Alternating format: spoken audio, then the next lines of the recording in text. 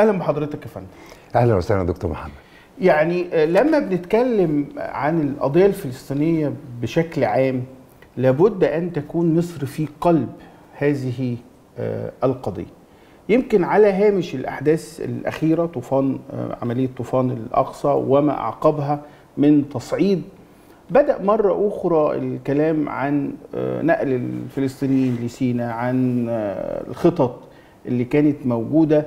واعتقد البعض إن دي خطة جديدة أو موضوع جديد لكن الموضوع قديم وليه جذوره نعم م.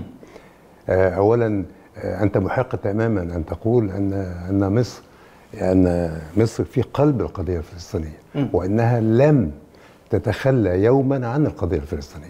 والملاحظة المهمة في هذا السياق أن هذا البلد وهو مصر لم يكن له أي منظمات ضمن المنظمات الفلسطينية في منظمة التحرير أو في غيرها تدين بالولاء لمصر كما فعلت دول أخرى على الإطلاق. آه. مصر لم تكن تستهدف إلا المصلحة الوطنية الفلسطينية العليا إن في تشكيل منظمة التحرير أو في تشكيل جيش التحرير الفلسطيني وإلى آخره.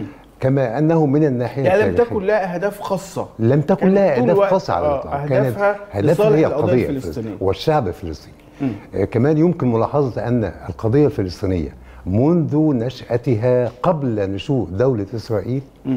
في 48 هي قبلها ب 48 آه. آه. أيام 36 38 أربعينات يعني قبل نشأة الدولة الإسرائيلية كانت القضية الفلسطينية هي تكاد تكون القضية الوحيدة الخارجية التي أدرجت على جدول أعمال الحركة الوطنية في مصر م. على قدم مساواة مع الجلاء والدستور ووحدة وادي النيل آنذاك.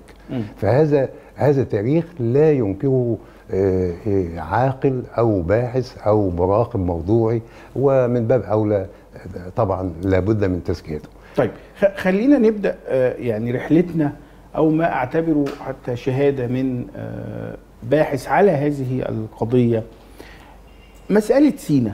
لأنه اتفجر الكلام حوالين طيب ما إحنا ممكن نحل المسألة بانه إحنا ننقل الفلسطينيين لسينا مصر موقفها واضح كما هو واضح.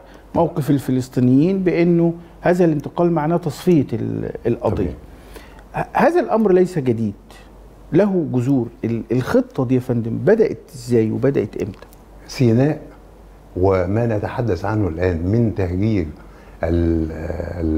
أهالي غزة إلى مصر وإلى إلى آخره إلى آخر هذه المشروع لم لم تكن غائبة ابدا عن ذهن الصهيونية. لأني أنا تذكرت عندما حضرتك تفضلت ورشحتني لمثل هذه الحلقة تذكرت قراءة كتاب مهم لمريد غالي بعنوان سيناء عبر التاريخ. آه. ما ما رش ما يرسخ في ذهني حتى الآن هو ما قاله مريد غالي رحمه الله عن سيناء في التفكير الصهيوني. لأن كانت بعد المحاولات هرتزل مع السلطان عبد الحميد الثاني السلطان العثماني آه. بالحصول على امتياز للاستيطان في أراضي فلسطين. وشراء أراضي في فلسطين. ورفض السلطان عبد الحميد منحه هذا ده, ده, ده بعد بعد مؤتمر بازل ده الف آه ده 1904 آه آه بعد, بعد مؤتمر بازل بعد رفض السلطان عبد الحميد. توجه هرتزل لبريطانيا. م. وبريطانيا بما أنها كانت الدولة التي تحتل مصر آنذاك سمحت له ب بال أو لمحت بالموافقة على مثل هذا الامتياز. قامت الحركة الصهيونيه بتشكيل لجنة من الخبراء في المياه وفي الجغرافيا وفي المناخ وفي النبات وفي التربة وفي من كافة التخصصات. وهذه البعثة مكثت مدة في في صحراء سيناء أو في سيناء.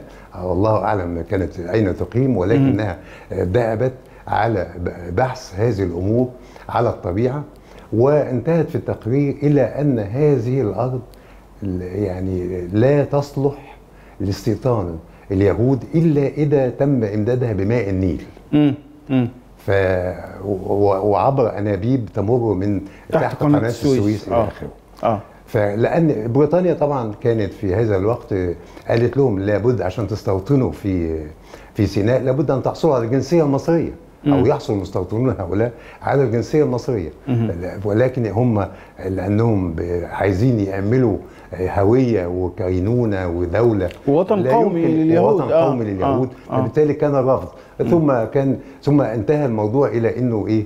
يعني ما لم يتم. كان وقتها يعني دي لجنة جت. تقريبا في في 1904 كانت لجنة جت 1904 عشان 1906. تدرس هل نعم. المكان مناسب للاستيطان. ده ولا لا.